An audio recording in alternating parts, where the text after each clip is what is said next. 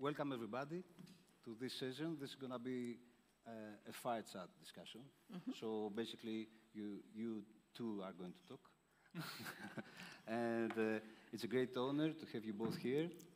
Uh, George, uh, he's an IT expert. He's leading innovation in the banking sector currently, but he also is a BOD member of the Hellenic Association of Blockchain, so he's a technical expert in the area, and he's uh, uh, merging with the banking uh, and consequently with our profession. Sandra, he, she's a global leader. She's advocating blockchain around the world, literally. Uh, she's giving speeches and coordinating actions uh, in all uh, aspects of activity. And we are, we are, everybody, we are very happy to have you here, both. Thank you.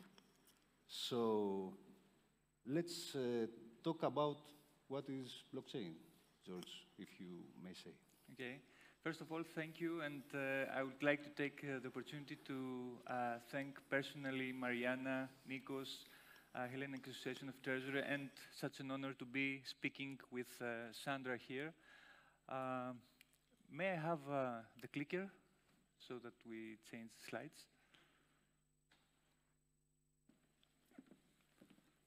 Thank you. Okay we could talk for hours about this, especially me and Sandra, but uh, we'll try to be quick.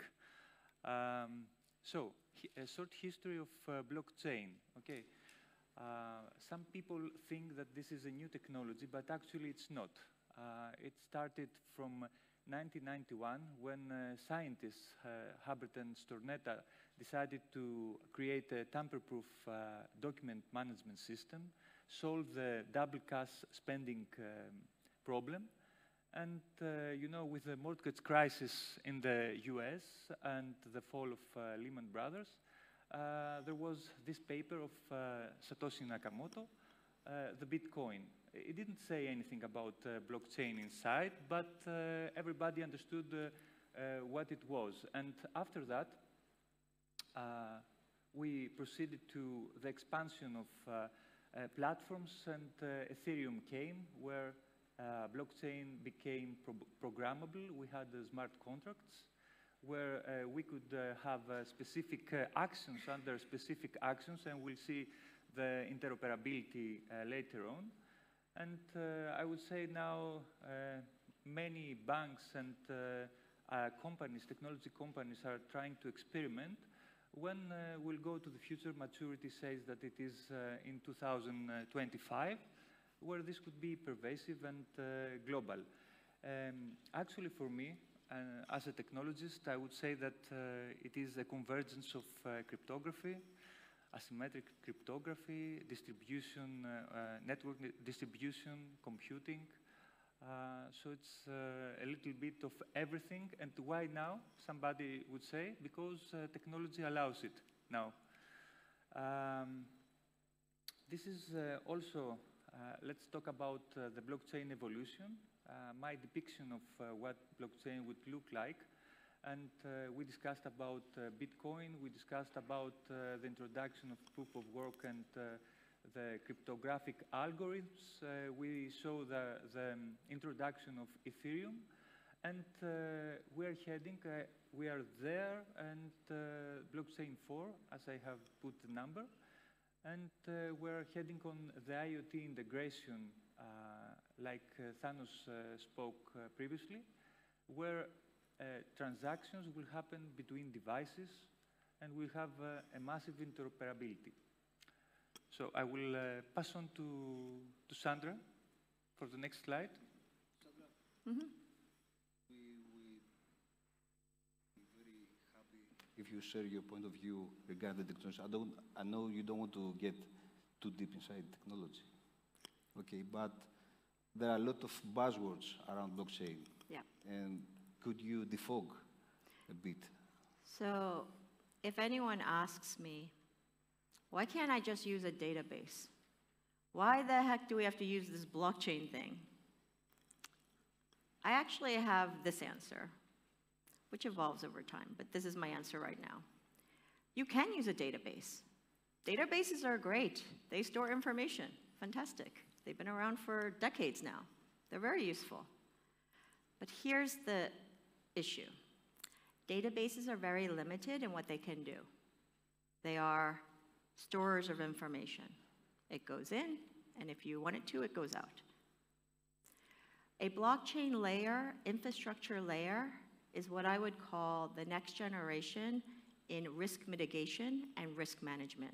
And people always say, what are you talking about? What, what do you mean? It's a risk management tool. All I hear about is crypto and all the scams. So put that aside for one second.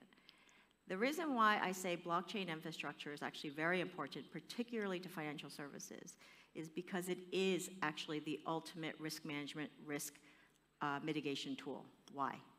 Because you can, with a bit blockchain infrastructure, share across multiple parties information that, when siloed in a database, is actually very difficult to port across in real time. So imagine a secure layer that allows you to talk and share different pieces of information at any given time. And everyone, if they're allowed, again, the rules of the road in blockchain are the most important.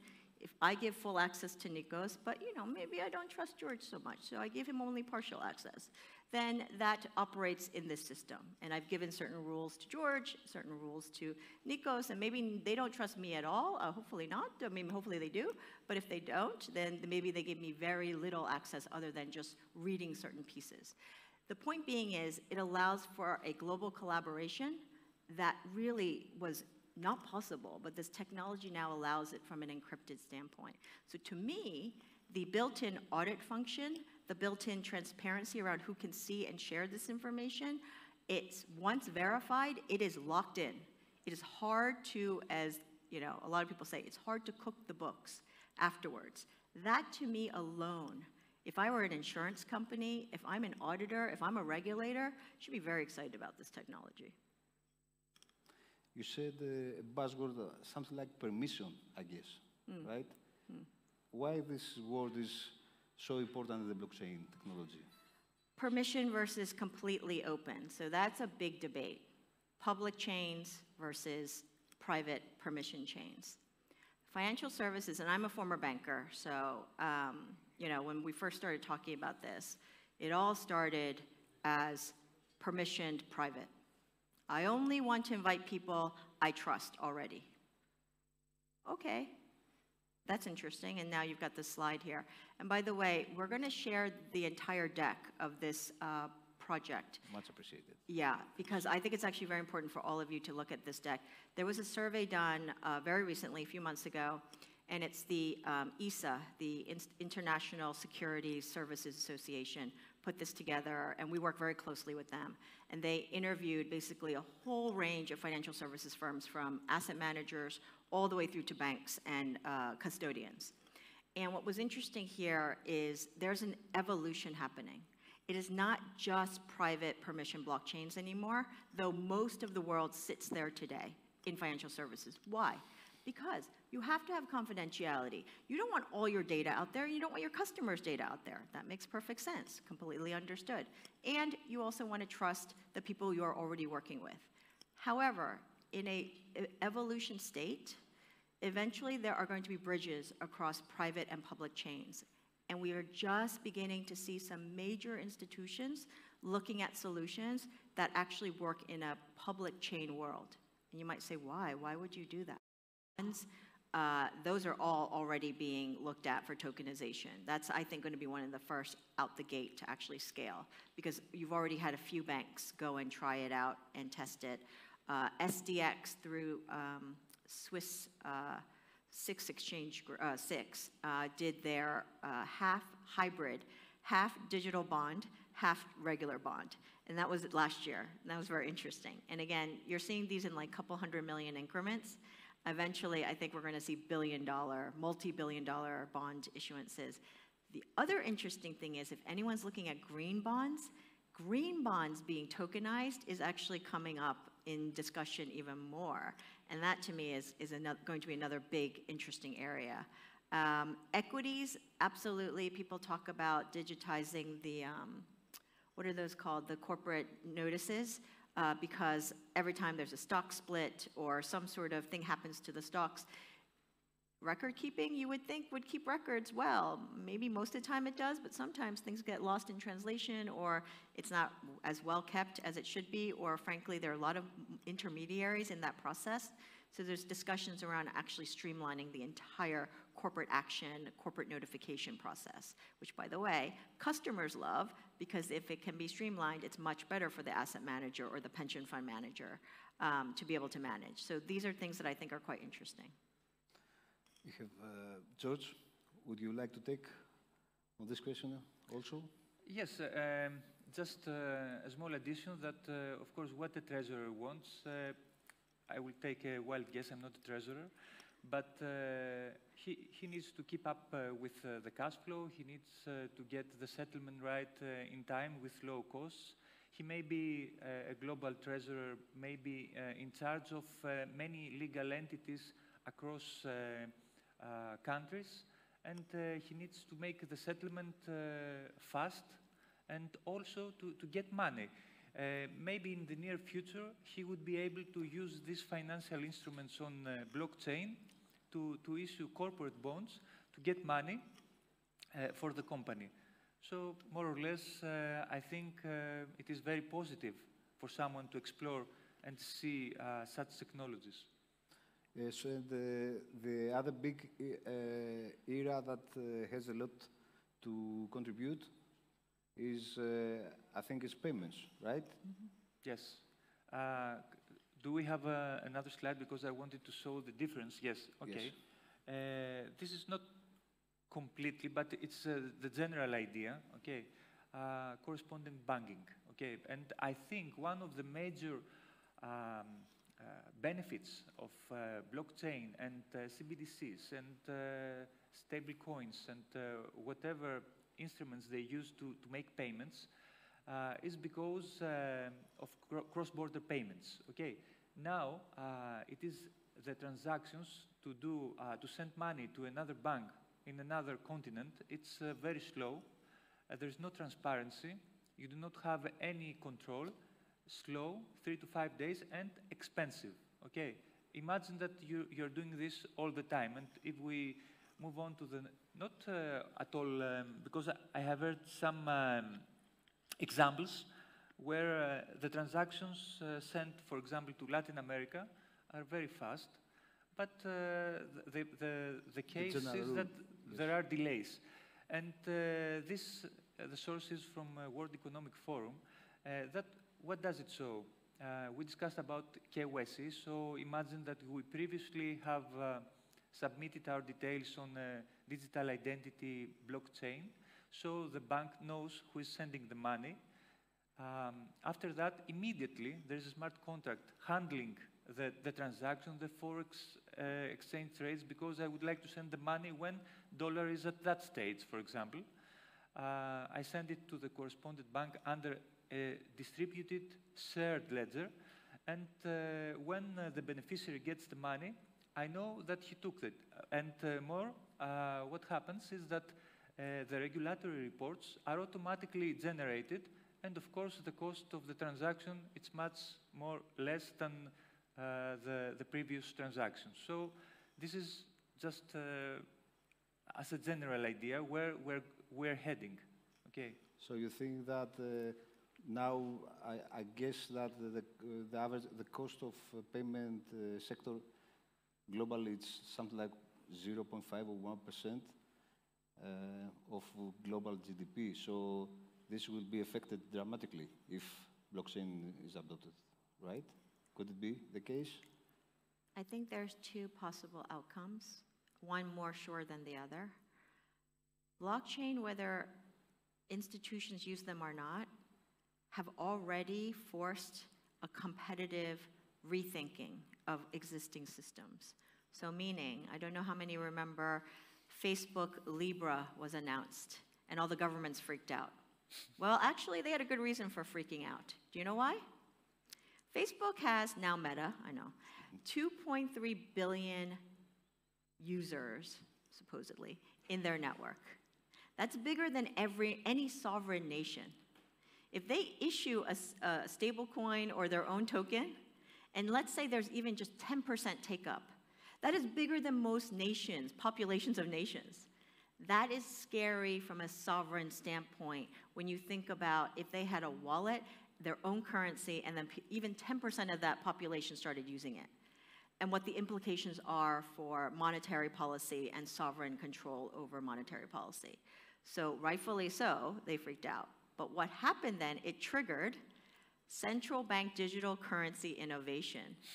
People have been looking at it for a long time, but all of a sudden, that event alone spurred the next 18 months of now 90 plus central bank innovation projects around CBDC. Now, okay, some of them are just researching, but you'd be surprised if you look at, um, I think the Atlantic Council and the World Economic Forum have very good data on this. There is a map that the Atlantic Council has come with, it's a heat map of who is doing what in central bank digital currencies. It's very interesting.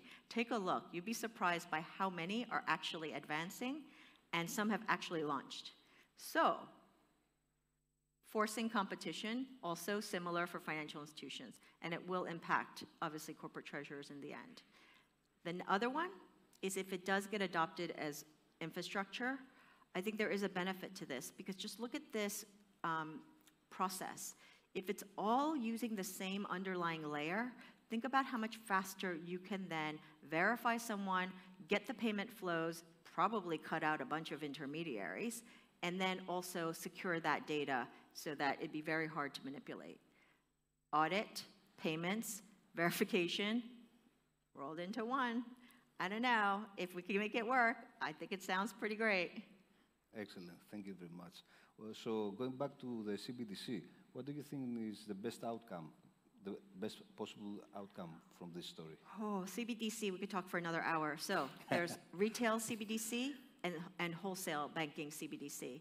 The reality is, most developed countries don't need both, or maybe they don't even need either. I, I actually am very critical of asking the question to governments what are you doing with your digital currency? Like, what's the purpose? Are you benefiting your citizens, or is it to benefit the current banking system because it's not as efficient as it could be?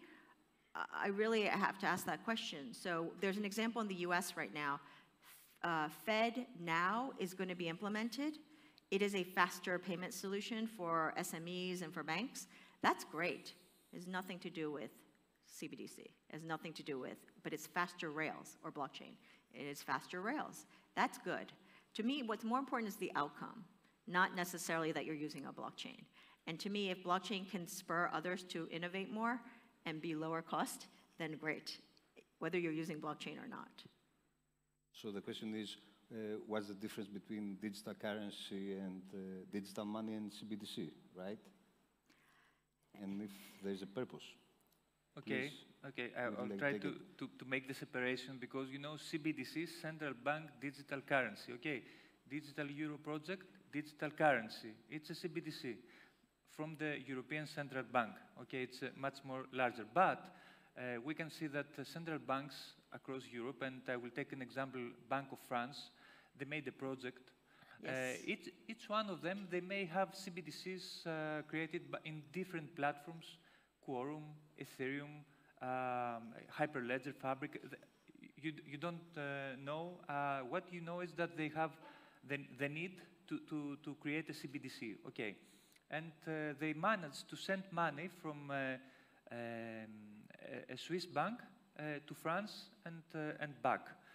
What else is happening? There is another, big, before of the wholesale CBDCs, there was a concern. What about the retail banks? Is uh, central banks are going to take uh, charge? No, Fabio Panetta from the central bank uh, came out and said that, uh, don't worry, uh, we don't have the power to, to support the KYC procedure and all the other infrastructure. Retail banks will do that, but of course, nothing is yet finalized. And uh, there is another idea, the MCBDC, the multiple CBDCs, where a CBDC from China, for example, could uh, settle with uh, a USD CBDC, European CBDC. Nobody knows, but what we know is the cross-border functionality and uh, the, the future idea that it is uh, the payments and financial inclusion, if you want. So summing up, the technology is here. Everybody is uh, having an eye for it, even the public sector, the private sector. And uh, could you share uh, one real-time, real-life case that you came across uh, to see the, the pros and cons of this? Yeah, uh, so uh, I'll give a CBDC example just because we were just Yes, talking about it. Project Bakong is the National Bank of Cambodia. It started a number of years ago. It's very interesting what's happened with Project Bakong. So the demographics, very young population. Uh, they were actually trying to encourage, and they all use phones, of course, um, very digitally savvy, uh, the younger people, and they were trying to encourage, and there was a very low take up of bank accounts. What they actually did is reverse of what most people think. The central bank launched digital currency to actually encourage mobile wallets that they were issued by them, to encourage the young people to then get those mobile wallets, to then in turn back into a bank account, which is fascinating if you think about it, because originally people thought, well, hold on, if you have a CBDC, you're going to eliminate the banking system, like you're going to get rid of the banks because you don't need them. Actually, you find that in certain countries, it's actually going to reinforce the banking system because um, there's just low take up in certain countries of bank accounts. So that's one example. It's counterintuitive, but, it, but it's playing out. Small country. Excellent. George, would you like to share? Um, I, I have uh, one, two examples. I will stick to, to one. Uh, can we show uh, the other slide? I don't know. Okay, this one. Oh, sorry. This one is a little bit old because uh, provenance has made huge advancements in uh, terms of technology, but the idea is here. So one thing that it is very important is the provenance. I, I, want to take, uh, let's say, uh, bananas from the supermarket, and I want to know uh, where they're sustainably produced, where did they came from, what was the time, the name of the farmer, and many, many other details. And imagine that I'm not uh, selecting bananas, but I'm uh, selecting meat that came from Argentina. What happened between Argentina and Europe? Did it travel in the correct uh, temperature? And if not, IoT is there, so uh, a smart contract will notice me that the temperature was uh, up two degrees, for example, and I will not uh, accept the deliverance of, of the packets. So you see, uh, there are so many implications. And uh, what I, I like to, to say about these technologies that it offers trust. So it's a technology that you can trust. Excellent. I can mention other, but I don't want to. Yes. Uh, so as we are heading uh, towards the end of this uh, excellent conversation, uh, just take uh, 30 seconds to to say your opinion regarding if you think that th- this technology is going to be a catalyst for the financial world or not. I would say it already is. Uh, it has pushed the financial service. Think Very about how many people now talk about this topic, even if they don't want to. They are forced to. Um, the banks, the big ones, have been forced to actually hire entire teams now to have experts in this space. It is already happening. I think the competitive pressures have now started going full circle. And as I mentioned, like 32% are in live production. And don't get me wrong, I'm not saying every division of every company is now working on blockchain, but people have found through their own internal analysis, okay, we're going to look at this area, we're going to look at this area. Uh, maybe it's cost savings reasons, but actually for other banks, I know they're beginning to look at actually top line, revenue generating opportunities. And that's where people get very excited, right? Uh, new business, new money, okay, great. Um, so I think we're going to see a multi-dimensional world amongst the financial services. It's already happening. It's, the ship has sailed for anyone who thinks this is going away. Sorry. Thank you for this powerful message. George, any last thoughts? I have two very concrete examples. For example, one is uh, very new. Uh, we know that uh, DTCC, Deposit Trust and uh, Clearing Corporation, uh, is using uh, R3. It's not blockchain, but it is uh, distributed ledger technology in order to uh, offer settlement faster. And also, we have to take a look at uh, the trade finance, which was mentioned earlier, and you can send a letter of credit uh, between few minutes, uh, let's say. Uh, so yes, uh, it's already changing, like Sandra said, uh, the financial industry, and also, even though it didn't affect them, it, it is pushing them to innovate. Excellent. So I would like to thank you both for this fascinating conversation. It's been an honor to have you both here. Thank you for the acceptance. Thanks, Mariana, for being uh, the linking. Ah, okay. Oh, yes. How can you supplement this? There are a lot of questions. So, Sandra, can you take on the first one? Yeah, um, apart from crypto, okay, sorry. We hear a lot about DLT. Apart from cryptocurrencies, what is the next most successful with high adoption and considerable volumes application of DLT technology?